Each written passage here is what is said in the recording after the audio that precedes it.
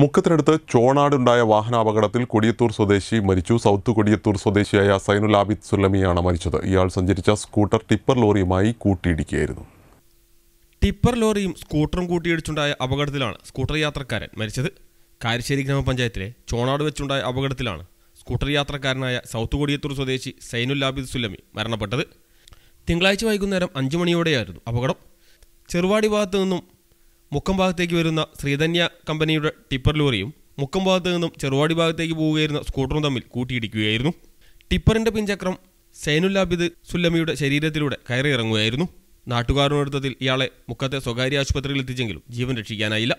അതേസമയം ചോണാടങ്ങാടിയിലും വില്ലേജ് ഓഫീസിനും ഇടയിലുള്ള വലിയ വളവുകളും ഇറക്കവും അപകടങ്ങൾക്ക് കാരണമാവുന്നതായി നാട്ടുകാർ പറയുന്നു.